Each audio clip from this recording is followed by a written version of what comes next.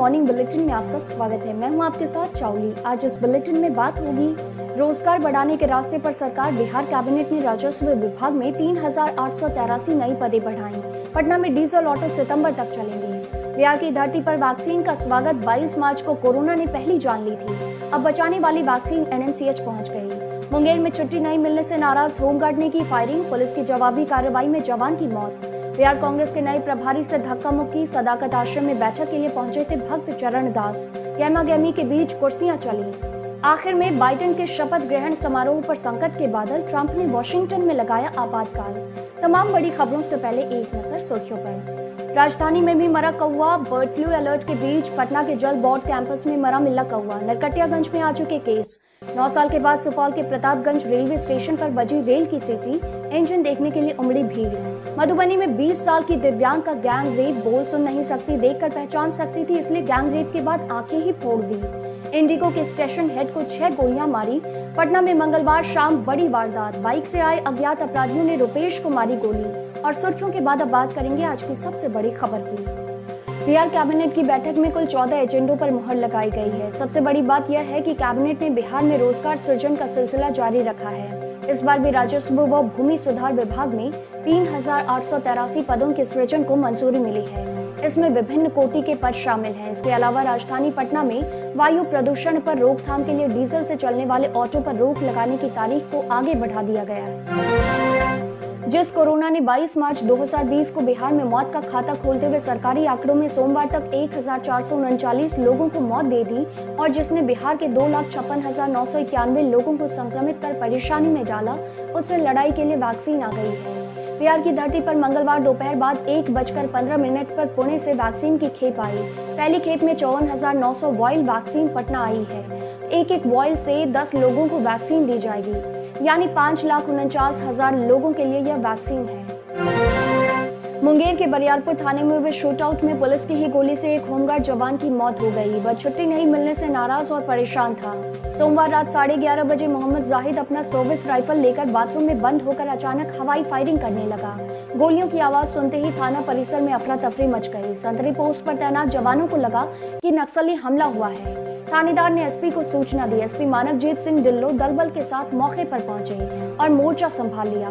तभी बाथरूम के दरवाजे को भेदते हुए एक गोली मोहम्मद जाहिद के सीने में जा लगी। उसकी मौके पर ही मौत हो गई। कांग्रेस के नए बिहार प्रभारी भक्त चरण दास को पहले दिन सदाकत आश्रम में ट्रेलर दिखा और दूसरे दिन मंगलवार को पूरी मूवी दिखा दी।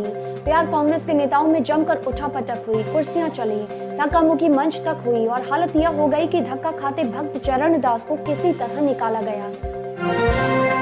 राजधानी पटना के जल बोर्ड के कैंपस में एक कौवा की मौत हो गई है। बोर्ड कार्यालय में मौजूद कर्मचारियों के अनुसार इसमें बर्ड फ्लू के लक्षण हो सकते हैं। मामले की जानकारी पशुपालन विभाग के अधिकारियों को दी गई है। पटना शहर में इस तरह कौवा की मौत की हाल में यह पहली घटना है। दो दिन पहले नरकटियागंज शहर के दिउलिया वार्ड संख्या छह में दर्जन भर कौवे मृत पाए गए थे। नौ सालों के बाद बिहार के सुपौल ज़िले के प्रतापगंज रेलवे स्टेशन पर बड़ी रेल लाइन की पहली ट्रायल इंजन के पहुँचने पर लोगों में रेल परिचालन की आस जग गई है। सोमवार की दोपहर बड़ी रेल इंजन की सीटी बजते ही लोगों की भीड़ स्टेशन पर उमड़ पड़ी। सालों बाद रेलवे स्टेशन पर इंजन को देख लोगों में खुशी का माहौल था। लोगों को अब लगने लगा कि अब जल्द ही रेल पर चढ़ने का सपना पूरा होगा। बाहुबली पूर्व विधायक सुनील पांडे से फ़ोन पर 50 लाख रुपए रंगदारी मांगी गई है। फ़ोन करने वाले ने बहत्तर घंटे का अल्टीमेटम देते हुए कहा कि यदि पैसे नहीं मिले तो उन्हें जान से मार दिया जाएगा। सुनील पांडे तरारी से चार बार विधायक रह चुके हैं। हाल ही में हुए बिहार विधानसभा चुनाव में सुनील पांडे निर्दलीय खड़े हुए थे, जिसमें उन्हें हार का मुँह देखना पड़ा था।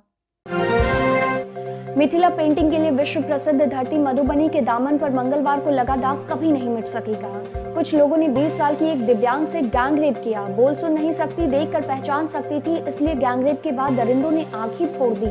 हालत इतनी नाजुक है कि हरलाखी पीएचसी से मधुबनी सदर अस्पताल होते हुए अब उसे दरभंगा मेडिकल कॉलेज अस्पताल रेफर किया गया है। राजधानी पटना में मंगलवार की शाम बड़ी वारदात हो गई है। अज्ञात अपराधियों ने इंडिगो एयरलाइंस के पटना के स्टेशन हेड रुपेश की हत्या कर दी है। रुपेश को छह गोलियाँ मारी गई। घटना पुनाई चौक के कुसुम विला अपार्टमेंट की है। हमला करने वाले बाइक से आए थे। कटिहार में मंगलवार दोपहर अतिक्रमण हटाने गई पुलिस प्रशासन की टीम पर ग्रामीणों ने पथराव कर दिया।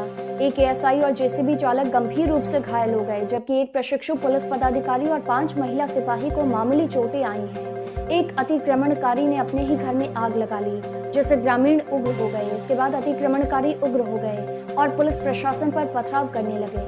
मिलते हैं छोटे से ब्रेक के बाद।